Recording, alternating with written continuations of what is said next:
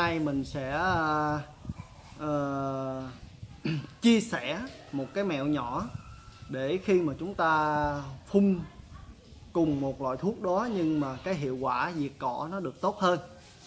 Những cái mẹo nhỏ đó ờ, thì cũng có một số bà con đã biết và áp dụng. Và song song đó rất nhiều người chưa biết.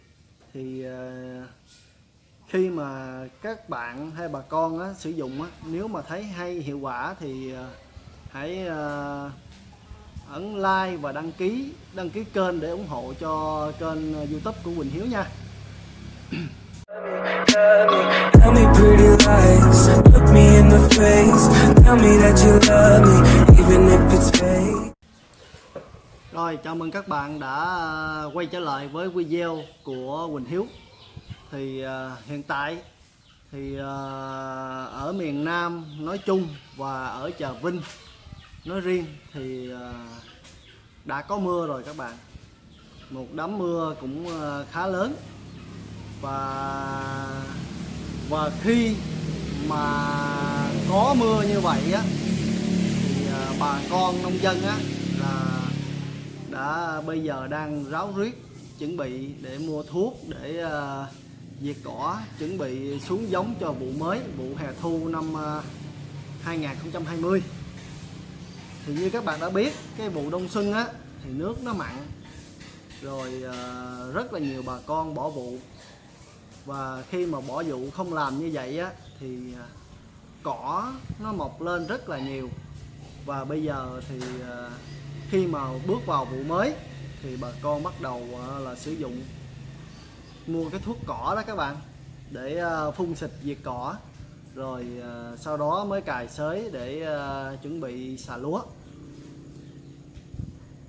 Và cái thuốc mà bà con mua thì hiện tại á là cái gốc mà bà con sử dụng nhiều đó là cái gốc uh, glyphosate ở đây thì mình có một cái chai tượng trưng đây là chai ờ, thuốc trừ cỏ, không chọn lọc.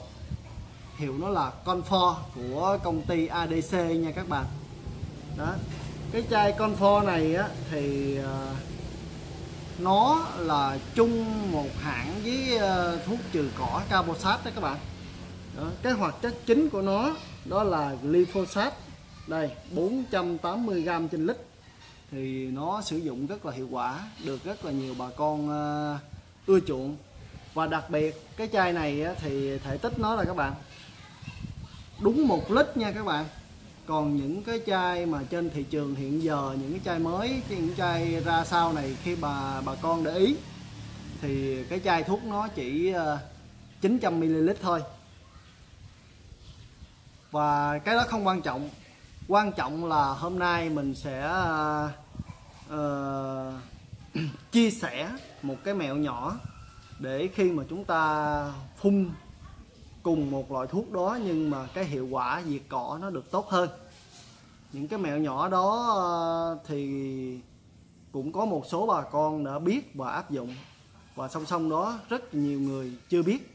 Thì uh, khi mà các bạn hay bà con á, sử dụng á, nếu mà thấy hay hiệu quả thì ờ, hãy ờ, ấn like và đăng ký đăng ký kênh để ủng hộ cho kênh ờ, youtube của Quỳnh Hiếu nha. Thì đơn giản là như vậy.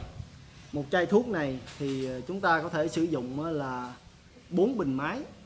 4 bình máy nha các bạn đừng có hoặc là nếu mà có nhiều thì mình sử dụng khoảng 3 bình thôi chứ nếu mà mình phun nhiều quá thì nó cũng ờ, phun nhiều bình quá thì cái lượng thuốc nó loãng, thì nó, diệt cỏ nó không có hiệu quả.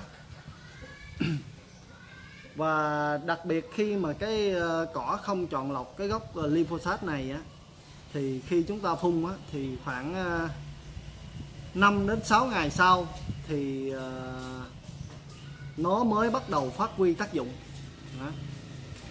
Và những ngày đầu á thì nó ờ, cỏ những bình thường thôi các bạn.